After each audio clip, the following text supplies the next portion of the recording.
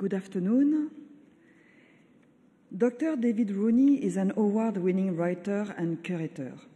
He was most recently Keeper of Technologies and Engineering at the Science Museum London and formerly Curator of Timekeeping at the Royal Observatory Greenwich. Specializing in the history of time, cities, technology, and engineering, David was lead curator of the Science Museum award winning mathematics, the Winton Gallery, designed by Zaha Hadid Architects, as well as its critically acclaimed exhibition Codebreaker Alan Turing's Life and Legacy. He is a trustee of three UK horological charities, chair of the Electrical Horology Group, and sits on the management committee of the Clockmakers Museum, the oldest clock and watch museum in the world. Please join me in welcoming to KAUST David Rooney. Thank you very much. Thank you. Thank you very much. Um, thank you for that kind introduction, and thank you all for coming this afternoon. I'm delighted to be here. Um, what I'd like to talk about in this afternoon session is a question which is a very easy question to ask What time is it? And today, the answer to that question seems very straightforward as well. We, we can find the time very easily. We can look at our cell phones or computer screens. Uh, we can listen to the radio. We might be able to um, telephone a speaking clock. But throughout history, the answer to that question, what time is it, has not been so easy to answer. Um, and so I'd like to talk about that. And I'd like to talk particularly about how time has value and how people can make livings by selling time selling the knowledge of what time it is. And I'm going to frame my discussions around um, the home of world time, if you like, the Greenwich Observatory uh, outside of London, which is the home of Greenwich Mean Time, which is the base time for all the time zones around the world. More about that in a little bit. So I'd like to talk about um, the, the Royal Observatory, and I'd like to talk about how time gets out from the Royal Observatory. Uh, on the screen now is the clock at the gate of the Royal Observatory, which was the first clock to show Greenwich Mean Time to the public. Um, but let's start by talking about why Greenwich Mean Time is what it is and is where it is. And this is the first of probably rather too many historic photographs relating to the Royal Observatory. Um, can I have a very quick show of hands to ask whether any of you have visited the Royal Observatory in Greenwich. Um, thank you, a few of you. And if any of you have a chance to visit London, I would urge you to try to visit the Royal Observatory. It's a wonderful place and it's a wonderful site for history. What you see on the screen there is part of the Greenwich Meridian. The meridian, which is the imaginary line which spans from the North Pole to the South Pole. There is an infinite number of meridians around the world, and a meridian uh, is the base point for measuring time.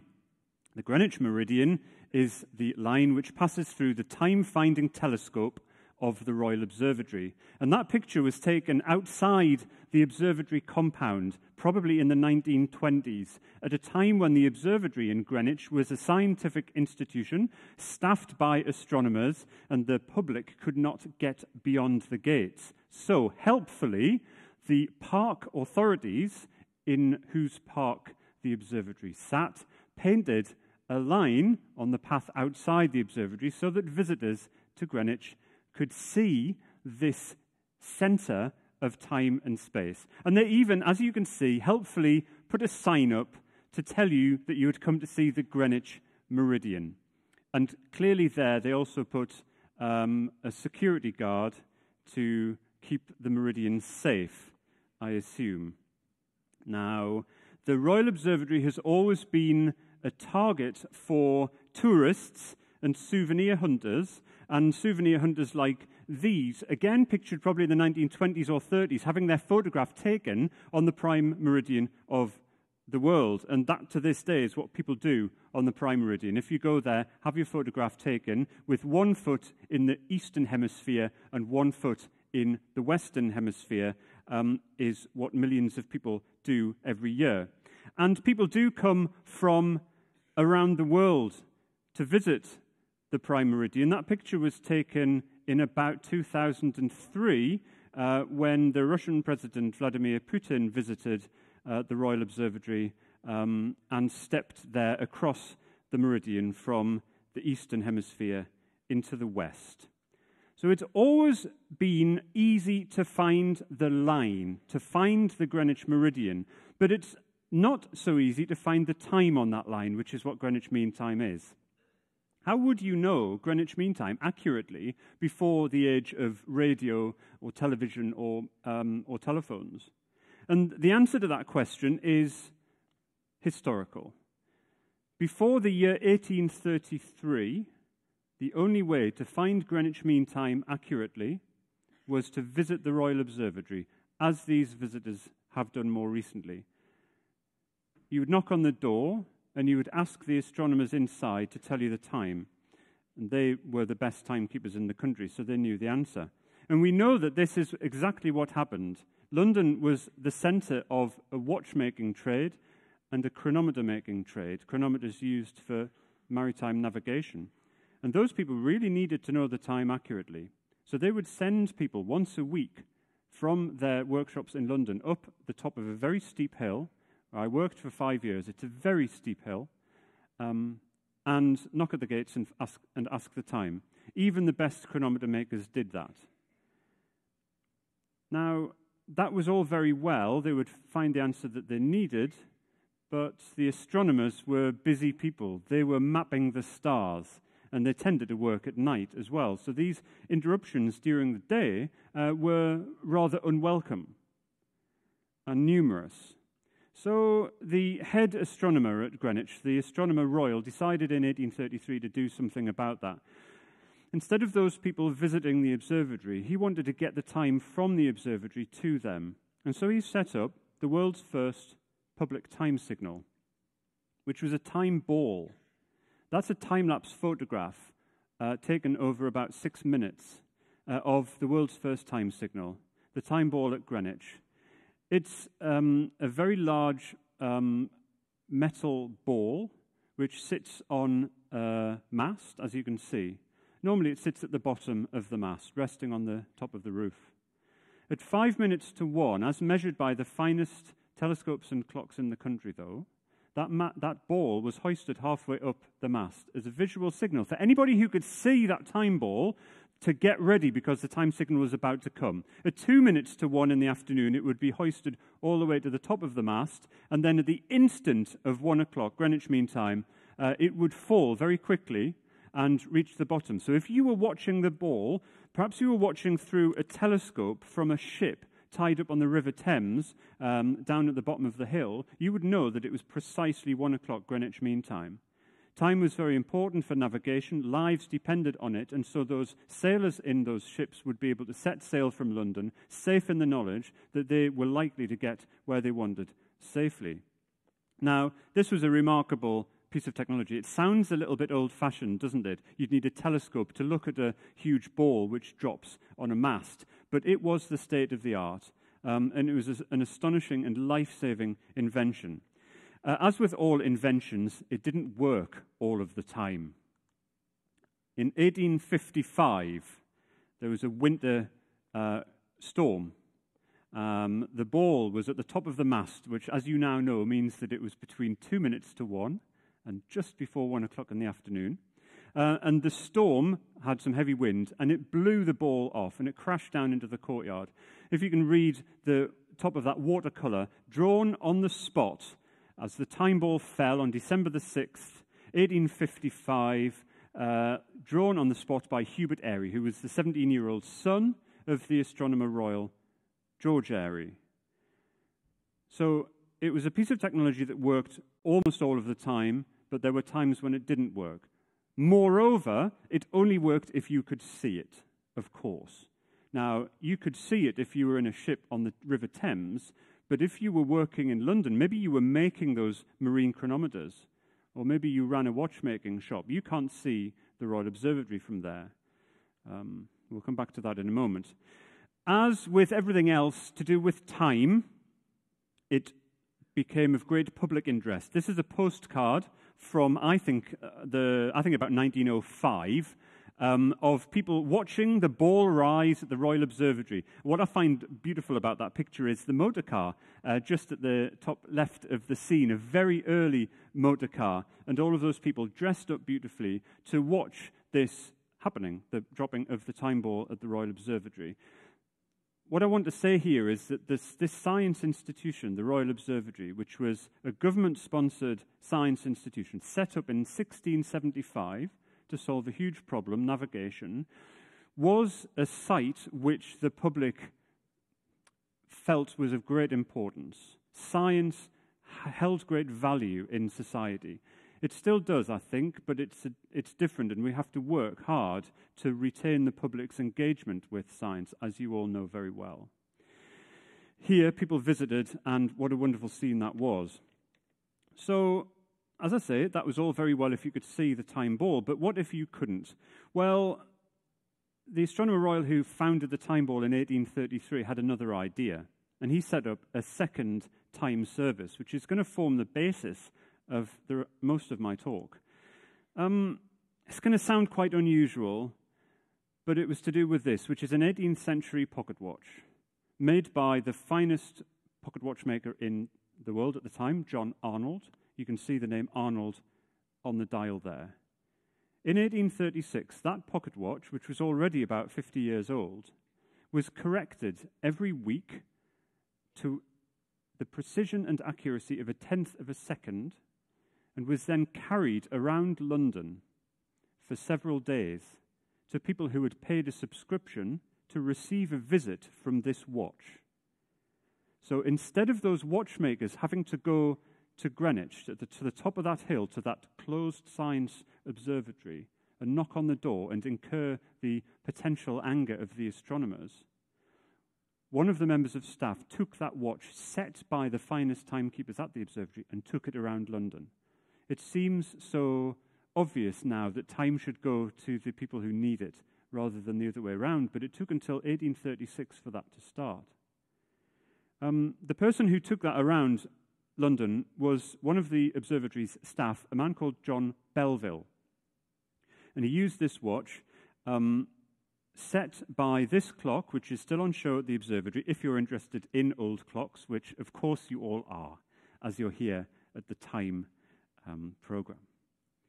Um, this is the clock at the observatory which set it. It was also the clock that was used to drop the time ball in this period. Now, this service, where you would pay an annual subscription for a weekly visit from that watch, was a huge success. I'll come on in a moment to how successful it was. John Belville took that watch around London every week for 20 years until he passed away in the year 1856. He was buried near to the Royal Observatory um, in, um, in a grave next to the vault, which you can see here, which, if you're interested, also contains the remains of Edmund Halley, the second astronomer royal, whose name was given to Halley's Comet, um, which we still observe today. When John Belville passed away in 1856, many of his customers asked his widow, Maria Belville, if she would continue to bring that watch because time was valuable to them. Here's Maria Belville at a customer's premises um, a few decades later in um, a graphic newspaper from 1892.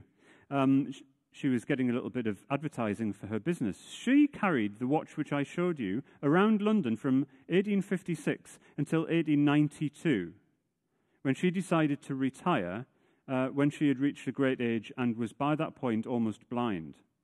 So, 1892, when this picture was taken, you might think that that service had, had done what it needed to do. Um, it had started in 1836. But no, when Maria Belville decided to retire in 1892, many of her customers asked whether her daughter, Ruth, would continue to bring the same pocket watch. Here's Ruth Belville, pictured in the 1920s. And Ruth Belville continued to carry that watch, corrected every week at the Royal Observatory to one tenth of a second around London until the year 1940. 106 years after her father had started to carry it. So it's an astonishing service. She operated it just for 48 years before she retired. She was aged 86 by that point in the year 1940. So 104 years, one watch, one family, and just two generations of that family, and a lot of people were paying for that visit. Now, how many people, you might think, well, surely by 1940 it was just a tradition. Well, not a bit of it. Um, this, the, the customers numbered 200 in London when John Belville started. They tailed off a little bit uh, as time went on, but Ruth still had 50 customers in 1940 who paid for that visit every week. People all across London, all kinds of companies, businesses, the docks, warehouses, banks, department stores, and even, according to a newspaper article, the houses of two millionaires who were visited. And some of the most fashionable shopping streets in London were able to set their watches by Greenwich time in Bond Street, Regent Street, and Mayfair. These are all from newspaper articles from the 1920s.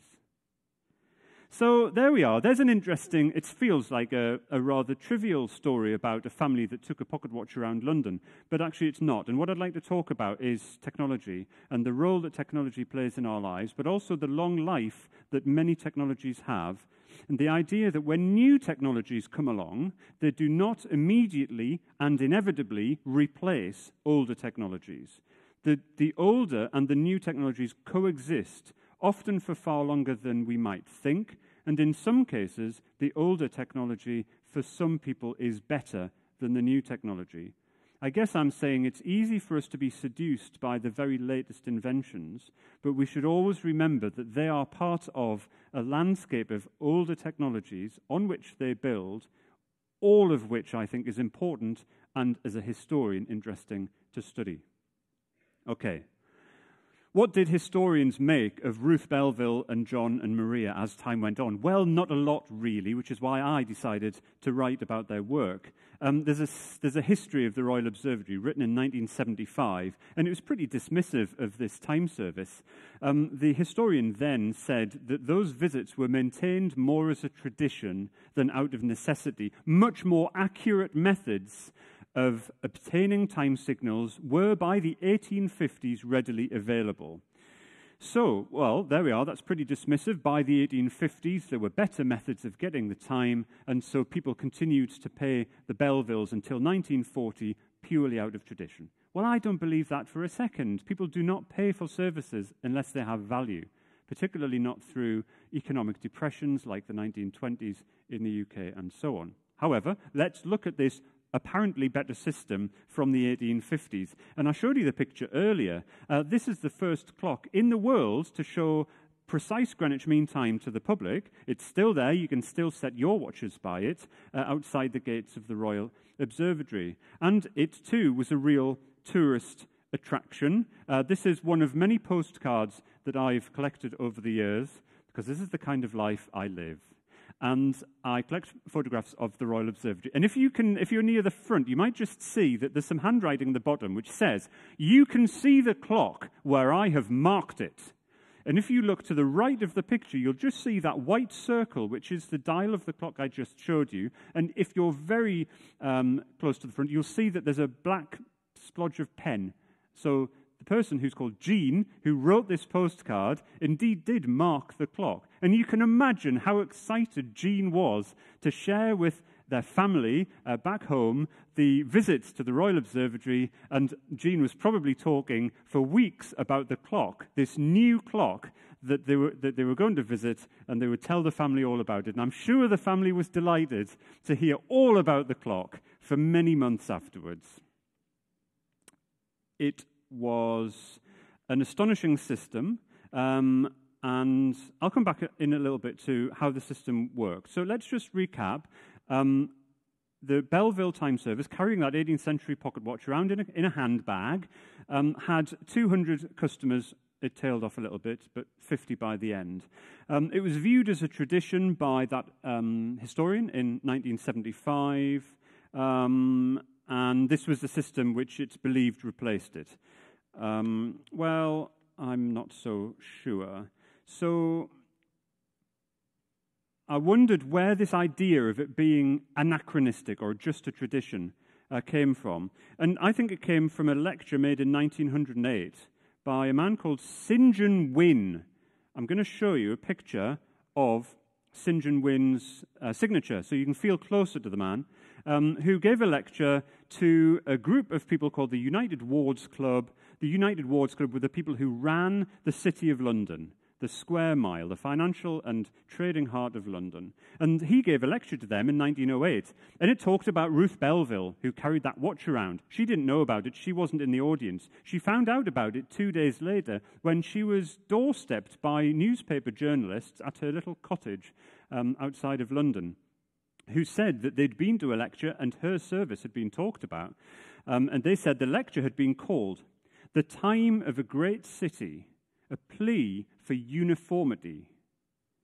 And this is what St. John Wynne said in that lecture about time in the city. He said, It may be interesting and amusing to some of you to learn how Greenwich Mean Time was distributed amongst the clock and watch trade in London before the present arrangements came into being. He said, A woman who was possessed of a chronometer obtained permission from the Astronomer Royal of the time to call at the observatory and have the watch corrected as often as she pleased. She then made it the business of her life until she reached a great age to call upon her customers with the correct time. And on her retirement, this useful work was and today is carried on by her successor. Now, that was actually quite dismissive, again, suggesting that it was just an amusing little byway in history. Uh, well, actually, it was worse than that. He was trying to put Ruth Belville out of business. And as um, somebody who needed that um, income to survive, this was pretty dangerous for her. It got into all of the British newspapers. All of the British national newspapers reported um, this lecture and reported on this funny person who was carrying time around London. Actually, it didn't serve the purpose that he wanted because um, Ruth Belville later said, I think he will not attack me again in public because the result ended in a rather heated discussion at the end of his lecture. And the last thing that he wanted was to advertise my chronometer at his company's expense, which was the only result he got. So, in fact, when he was trying to dismiss her service as being uh, just a tradition, an amusing little byway of history, in fact, he got her so much publicity that she got several more customers. So, well done to her. Um, well, who was this guy? Because that's what is so very significant. Well, he was the chairman of a company called the Standard Time Company. He sold time. And what he did was he rented you a clock like this, which looks like a fairly ordinary clock from 1908. You'd have to wind it up, and it would last for a week. But if you're very close, you might just see at the top of the dial, where the number 12 is, right at the top, there's a slight circular uh, slot cut out just at the top. Now, that's got two pins projecting through. So when the minute hand comes up to nearly the hour, then it comes within those two pins. At the instant of every hour, an electrical signal would be received by this clock and hundreds of other clocks connected. And those pins would snap together for about half a second and then move apart. They would physically pull the hand of the clock exactly to the top of the hour so if it was running a little bit slow or a little bit fast, every hour it would be set exactly right, a mechanical clock. So it was a synchronized mechanical clock from 1908. It was an astonishing piece of technology, and that's what St. John Wynne sold. He sold the time through these corrected clocks. Um, that clock is, is still on display and still working for anybody interested. And so Ruth Belville was actually a competitor for his business. Um, she was selling time, he was selling time. Um, and in fact, the argument that he made in that lecture to try and suggest that she was providing an old fashioned service uh, was, a, was an opportunity to put her out of business so that he could get her customers. Well, it didn't happen, as you know, because she continued working till 1940, as I told you. But um, let's look a little bit further at the competition. So I mentioned this clock already, which is outside the observatory, and that wonderful system which uh, was set up in the 1850s. Um, and it was all about electricity. So this was who the competition was um, for the Standard Time Company and for Ruth Belville. This clock is not a clock. It's simply a dial, and it has a couple of magnets, electromagnets. uh, and a couple of wheels, and then that's it.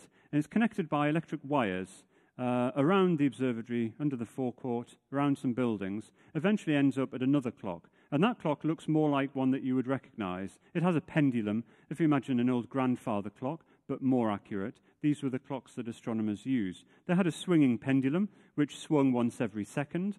Normally, though, the swinging pendulum would be attached to hands that go around the clock through gear wheels. Um, this new system, installed in 1852, was entirely new and very exciting. Instead of operating a train of wheels every time the pendulum swung, it operated an electrical switch. And that switch switched a battery in and out of a circuit. So every second, as measured by this most accurate clock at Greenwich, a tiny burst of electricity would pass around an electrical network wherever you wanted to put electrical wires.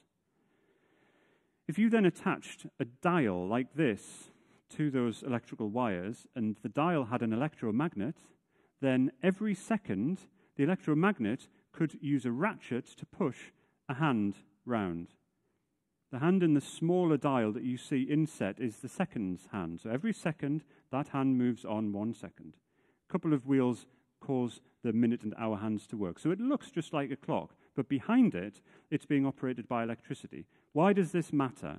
It matters for a very, very important reason. This clock would always tell exactly the same time as the time on that pendulum clock. So if that pendulum clock was the master clock for a whole country, then any clock that you connected by an electrical wire to it would tell exactly the same time. Now, the clocks that existed until then varied, right? Any clock would tell a slightly different time from the others. With this system, you could have a synchronized service where time could be standardized. You could run an electrical cable for hundreds of miles and put a dial at the other end of it, and it would tell the same time as the time in the Royal Observatory. And this system was installed in 1851. Now, in fact, it wasn't those one second impulses of electricity that were sent around the country, because that would have tied up those electrical wires too much. Instead, time signals started to be sent every hour, twice a day, or once a day, depending on how much you wanted to pay. And all of them referred back to the clock at the Royal Observatory, Greenwich, the clock which was set right by the astronomical observations of the stars by the finest astronomers in the world at that time. So, this system, in theory, is wonderful. It's standard time and it's electricity, which moves at the speed of light, not like those people carrying a watch in their handbag who moved at the speed of walking pace. So, it was quite wonderful. But did it always work? Is the question. And the answer, as with any new high technology, is often it works, but sometimes it doesn't. And sometimes there'll be failures. And if you imagine all of those wires and electrical relays and switch boxes, and they're traveling all around the country, and there's weather, there's wind blowing lines down, and there's power failures, and batteries run out. In fact, this was a rather unreliable service. And I've seen files of papers of complaint letters, an inch thick, at the post office who ran this service for the Royal Observatory, of complaints about this service not working. Either it was inaccurate, so the service, so the time signals it would send would be wrong by minutes or seconds. Unreliable, in other words, days would pass and you wouldn't receive your time signal. And also untrustworthy, because how would you know whether the time was right if last week it was half an hour late? or the week before it was three seconds early. For many people, fractions of a second mattered. Lives depended on it, as I mentioned.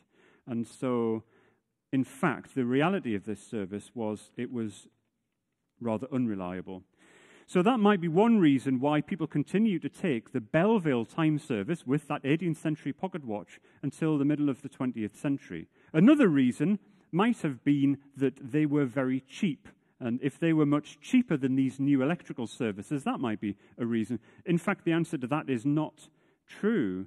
The Belvilles charged quite a lot of money for access to their weekly visit with that watch. And in fact, you could have got the standard time companies automatically corrected clocks for about a half or a third of the price of your weekly visit from the Belvilles. And so, if these electrical systems were so much better, why would people pay that money? It's a lot of money uh, to get that weekly visit. Well, I think the answer is, is varied, but I think a rather important answer, which is to do with trust. And trust in science and technology is really, really important.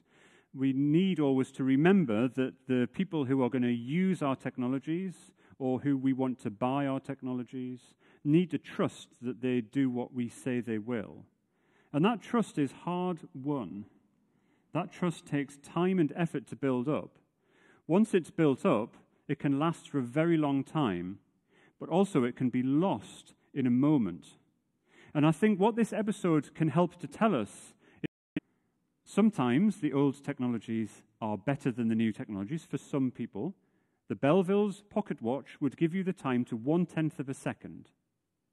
The watch that they bring you and the certificate, which is signed saying this has come from the Royal Observatory, from the finest timekeepers in the country because you know them, you know their family. And this is important. The people providing these electrical services were big companies. You, you received the time remotely, and you never really knew whose business it was that you were um, contracting with. And I think we need to think about these issues of trust um, quite a lot, actually, in technology. In 1940, the Belville time service came to an end and whilst I've argued that the electrical time service by wires wasn't as good as it was made out to be, by 1940 I will grudgingly concede that there were other time services available which were alternatives to the Belville's service. The first one, which um, has been around now for over a century, is time by radio, time by um, wireless radio signals. The, this is uh, one of the um, masts at one of Britain's former biggest radio stations called Rugby Radio Station, which was built in the 1920s to send time and weather signals to ships, to British Navy ships around the world. The wireless signals that this broadcast were very long wave, which meant that they didn't fire off into the atmosphere. They would follow the curvature of the Earth, which meant that the signals for time and weather could go around the Earth and reach ships on the other side of the world. Uh, and for navies um, which had large empires, that was, of course, very significant. Um, those very long wave radio stations are still used today, used to get signals to submarines, um, which might need to receive instructions from land quickly. Um, this is Rugby Radio Station, which started sending the time to specialists in the UK and Western Europe, just it didn't have very much range, from the 1920s, following an earlier experiment at the Eiffel Tower in Paris in 1910 to show that you could send time very well by wireless. Um, by the early 1920s, um, something else happened which changed the value of radio time very significantly. Just before I do, I'd like to show you, because this is what I care about, a picture of the world's oldest working quartz clock. Um, if any of you come to my conversation at 2 o'clock this afternoon, I'll be talking about many things, including quartz clocks, which interest me greatly. Uh, this is the oldest working quartz clock, I believe, in the world from about 1940, and it's the type that was used to provide the time signal from Rugby radio station uh, from the 1940s onwards. Forgive me for showing you these beautiful things. In 1922, the British Broadcasting Company, the BBC, was founded. Um, and it was the first chance for people to receive radio broadcasts, radio programs, as opposed to the dots and dashes of Morse code uh, signals, which was what wireless was before that.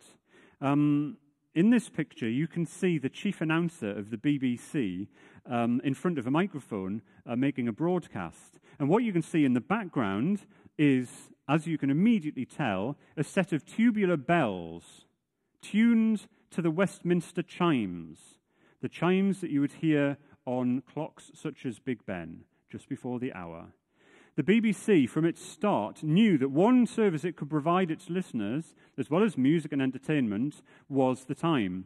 And this is how they did it for two years. The announcer here would wait until he could hear the sound of Big Ben from the open window of the studio in London, and you could hear Big Ben uh, through the window, and he would ring along with Big Ben on these tubular bells into the microphone where they would be broadcast to the nation. What a beautiful, beautiful experience.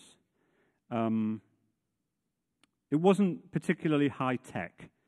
Now, as I've just been talking about, that shouldn't necessarily be a problem, but really this didn't work very well. You'll, as a science university, you'll immediately be thinking, what about the speed of sound? It will have taken some time for the sound to have got from Big Ben to the announcer's ears before he rang along on these tubular bells. And that meant that the time was going out on the BBC about two and a half seconds too late. They knew they had to do something about it. And after just two years, they did. And in 1924, they started broadcasting the six pip time signal, which is still available on the BBC World Service around the world to this day, which used a clock at the Royal Observatory again, which was set so that every um, hour, actually every 15 minutes if the BBC wanted it, um, a little system in this clock would send six bursts of electricity up a telephone wire to the BBC, where they would be converted into audio signals or tones or pips that we could hear and then broadcast. And those familiar six pips, which herald the start of a new hour, um, if you listen to them on BBC Radio, have been going strong since 1924, and this is the clock which originally provided them. So that was a wonderful service which is still going strong today. If you listen to the World Service on, um, on the internet, it's delayed, so don't set your watches uh, by internet time. But if you can listen on a conventional wireless set, it still comes from the BBC, and it's remarkable. The time doesn't come from the Greenwich Observatory anymore, by the way. It comes from American military uh, GPS satellites. Um, we could talk about that in questions if you're interested. Um, the third system which was available in the 20th century was time by the telephone. And this came around in 1936 in the UK because the six pips were available perhaps once an hour.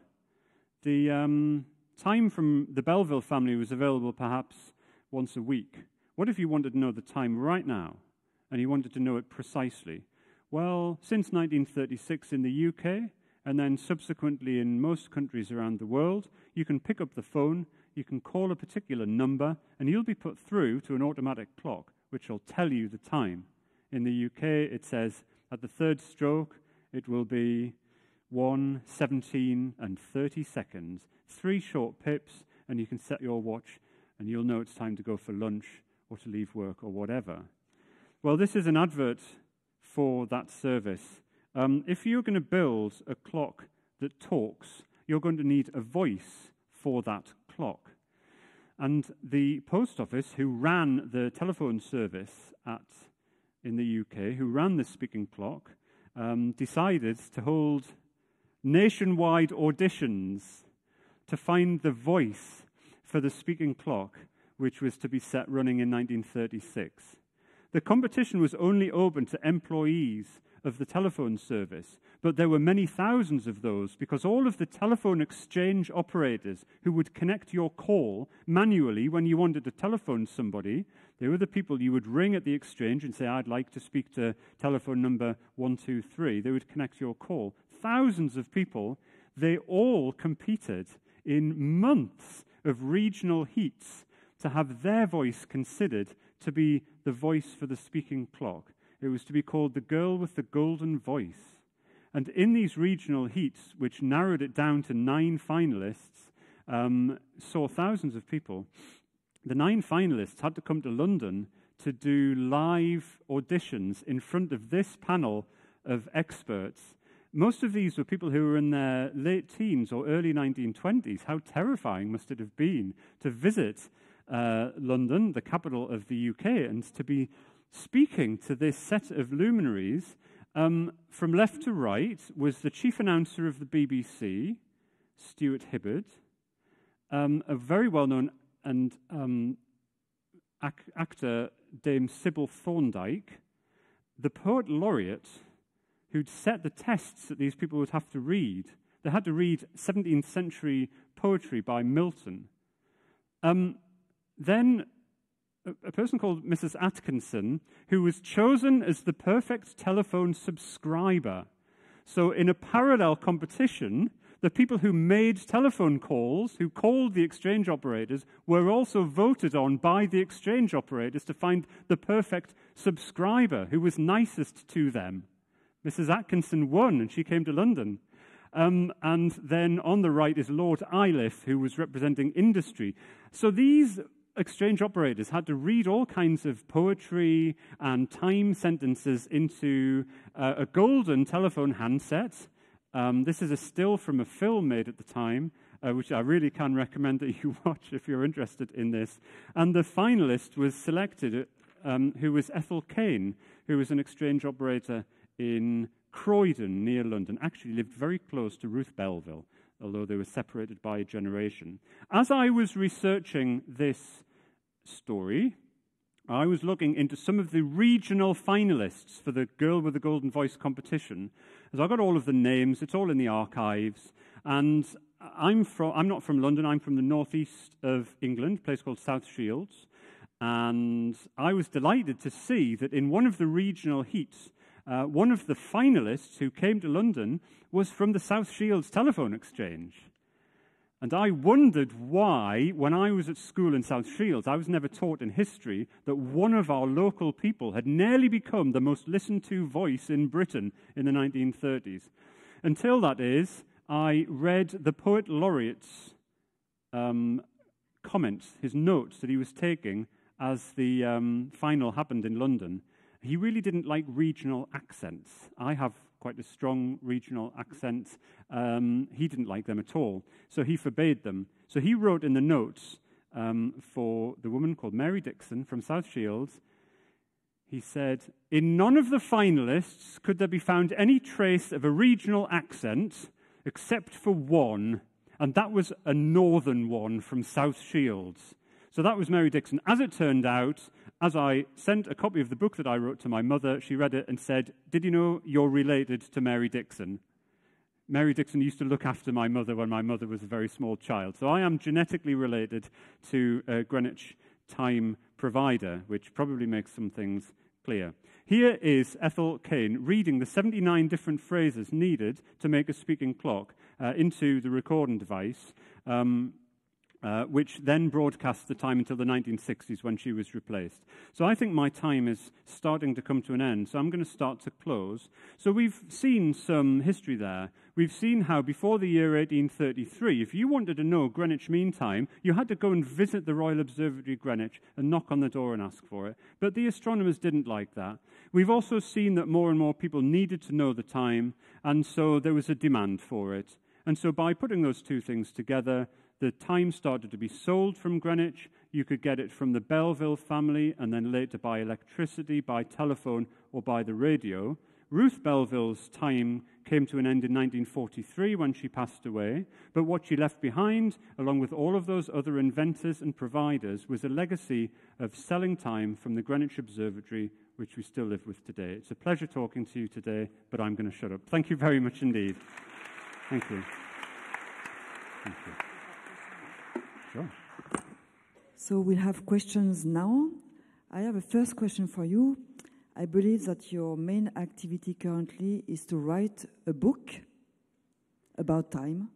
Yeah, thank you. Um, yes, I'm writing another book. I wrote a book about Ruth Belville. I'm now returning to time as a theme, and I'm writing a history of civilization told through 12 clocks. Each chapter tells the story of a clock from as old as two and a half thousand years ago, as modern as a 21st century clock. And I want to understand how we can learn about civilizations and societies from the clocks and timekeepers that they make. So I'm pretty excited about that. So, any question from the audience?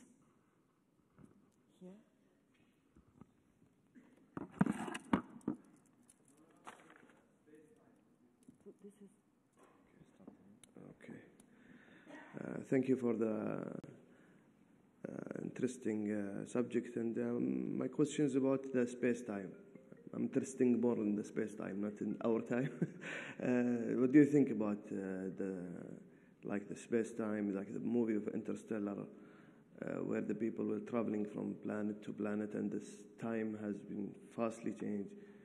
So, that's an interesting question about space time, and of course, time changed fundamentally in the 1900s when Albert Einstein published his um, theories of relativity, which for the first time set a scientific basis on the fact that all time is relative. So when you start to travel in space, there are all kinds of effects which have to be considered on clocks, which don't need to be considered on Earth. Actually, that's not true. They didn't need to be considered on Earth.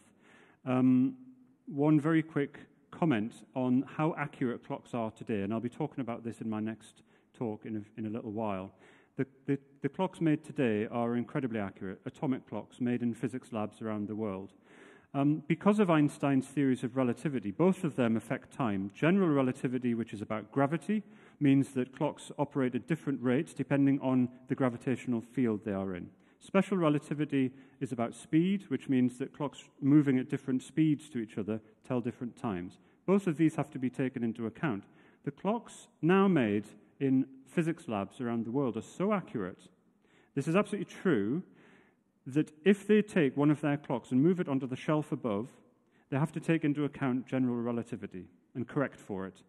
If they move that clock on a trolley across a courtyard to move to a new building, they have to take into account special relativity. And I did not believe this. I'd heard this somewhere, and I've asked the scientists at the National Physical Laboratory in the UK, who are making some of the best clocks, is this really true? And they said, yes, yes, absolutely. We have to take into account relativity everywhere we work.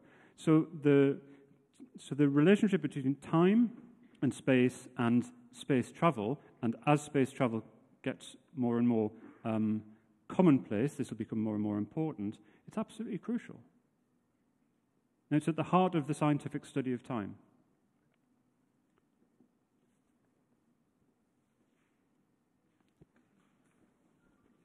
Was there any issues uh, in the 19th century for someone to make uh, a clock? Because uh, I think uh, it's really hard for Bevel family. Why didn't they just make another clock and hang it anywhere in London so people can uh, see the time? That's, thank you for that question, which is, I think, of fundamental importance. The obvious answer to the question, how do you know the time, is that you have very good clocks wherever you need them. But even today, and that's, and that's more acceptable today when the clocks that we could afford to buy or companies could afford to buy are so much better. But still to this day, there is a hierarchy of time accuracy and precision. And every clock has to refer back up that chain to an ultimate time provider. So the answer to that question is how would the people who operated that clock in the centre of London, for instance, know what time it was? The only way at that time to find the time was to use the stars, or in other words, the rotation of the Earth. That's how time was measured. The, the Earth rotates 24 hours, once every 24 hours on its axis. And so, by looking at stars above, as the same star passes over directly ahead twice, 24 hours has elapsed. So, that's how time was found and then set onto the clock. The clock simply keeps time between two successive star observations. So, technically, in the 19th century, it would have been possible to have a time finding astronomical instrument like a telescope wherever you were, and you could take your own readings and set your clock right. But it was really hard to do that, and the smaller the telescope, the less accurate the results. And you'd need to, you need to be a really good scientist to get the right results. So, actually, whilst it does seem unusual that it was so much hard work for the Belvilles to carry the time around, Actually, it made a lot of sense because all of those clocks in London needed to be set. And the only way to do that was to find the time at Greenwich because that's where the astronomers were. Now, today, as I say, it's easier because we've got radio signals or whatever, but even now, all of the clocks that we have, we should know how they get their time and therefore whether we can trust them or not. But it's a really good question because it gets, it gets right to the heart of metrology and measurement science. And how do you know that the thing you're measuring is correct? And how do you get access to a better source? Really good.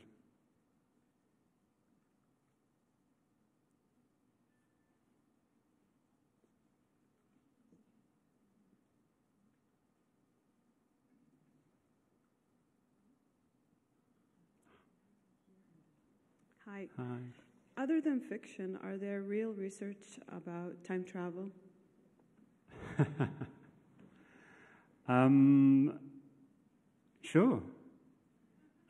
yeah, I mean, I think you'll know far better than me in a science university, but the concept of time travel at the subatomic level, at the quantum level, I mean, we're really getting outside of my knowledge zone, but yeah, at the subatomic level, time travel is significant. The question of whether that can then be scaled up to the many atoms that make humans, I think, is still the realms of fiction, but I understand that there is significant research on understanding the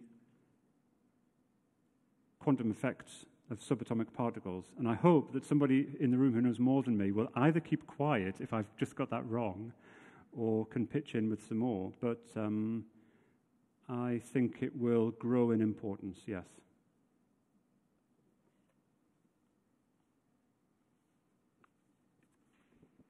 Um, my question is how were modern day time zones decided on and how accurate are they? Uh, another wonderful question how are modern day time zones decided on?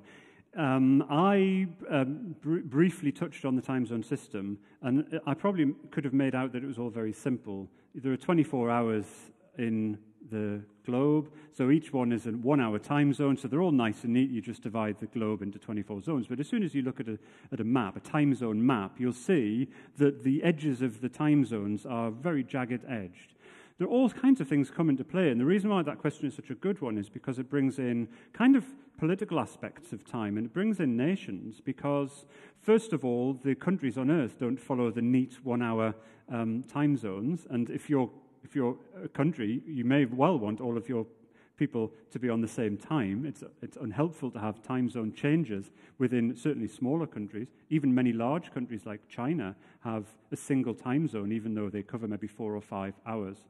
Um, the, the short answer, because I should give short answers, I've been told this. The short answer to your question is any country or, um, or state is, is, can choose whatever time it wants to keep. There is no law which tells any country what time they keep, nor where the boundaries are. So it comes down to conventions and it comes down to either ease of use. You might want to be in the same time zone as your major trading partners. So, for instance, most of the European Union is on Central European time, include, um, including many which are actually quite a long way outside of that by the sun. It makes sense for the EU to have a common time for trading purposes. Or you might even want to change your time zone to make a political statement about who your allies are. And um, places um, such as Venezuela have fairly recently changed their time zones by maybe half an hour or quarter of an hour to make a comment that they're moving an alliance to a different bloc, if you like. Um, so, the, so, the, so the very interesting um, case of time zones is they can tell us so much about politics and about the history of uh, politics. What it means, of course, is that it's very hard to find the time because you need the very latest time zone maps, and believe me, they change every year. Um, before the internet made it easy to Google what time is it in, in Jeddah, uh, before that, the best advice I was ever given was if you want to know the time in any country that you, you might be visiting, is you just telephone the international hotel in that um, capital city because they'll answer the phone 24 hours a day. In my case, you know, for, helpfully for me, they'll probably speak English uh, and they'll know the time where they are. The question, what time is it, is not a straightforward one to answer, and it, it really hasn't been in the past. Thank you very much. So, if you would like to continue this conversation, David will give a second talk at 2 in the Spine Auditorium between 2 and 3. So, thank you for your time and this wonderful presentation. Thank you very much indeed. Thank you. Thank you.